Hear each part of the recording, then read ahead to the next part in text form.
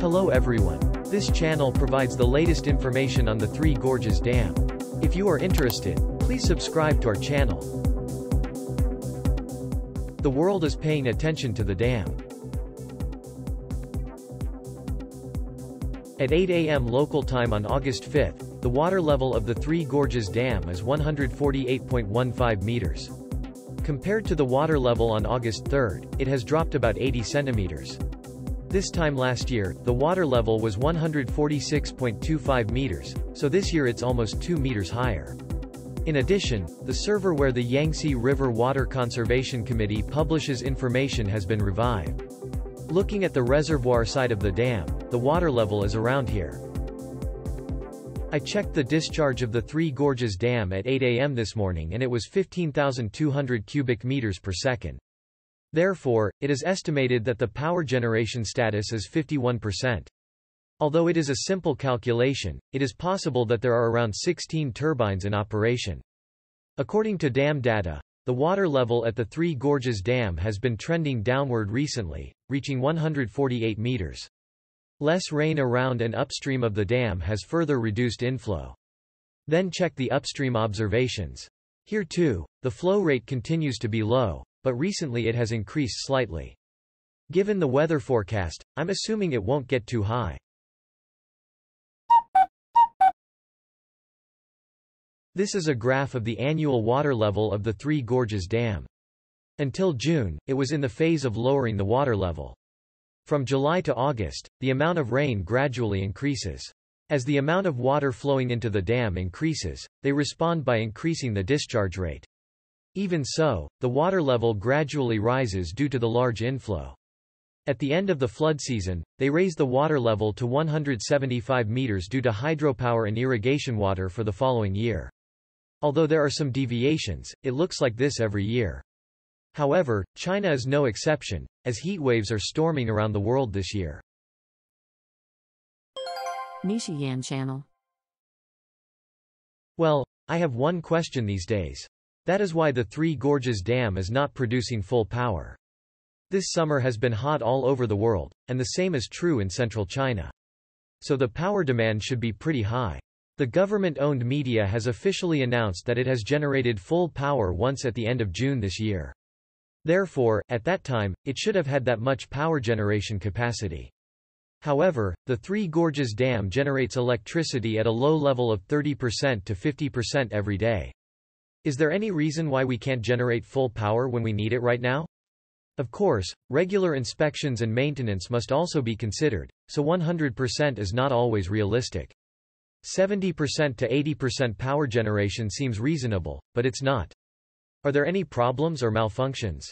They say only good things and don't mention bad things. Looking at their numbers, I have some concerns. What do you guys think about this matter?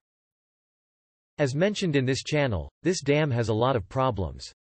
They don't talk about any of the potential concerns I think of, such as climate impact concerns, garbage problems, ecosystem impacts, and sedimentation sand issues. They appeal that the dam is operating safely, but do not address potential issues. The annual precipitation around the Three Gorges Dam is as follows. Although it is August, there is little rain this year.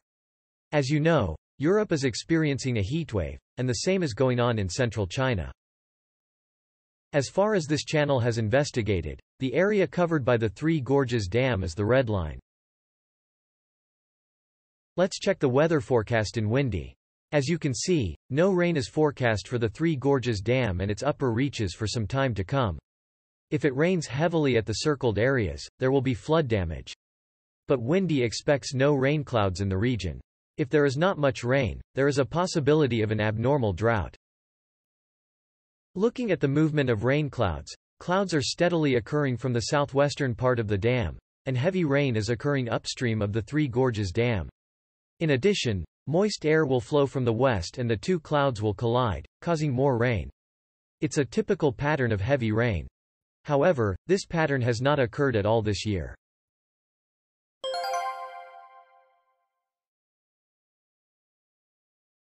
The dam is full of garbage. The Three Gorges Dam has many problems such as floods and cracks, but do you know about the dam's garbage problem? The Three Gorges Dam is located at the end of the confluence of various rivers.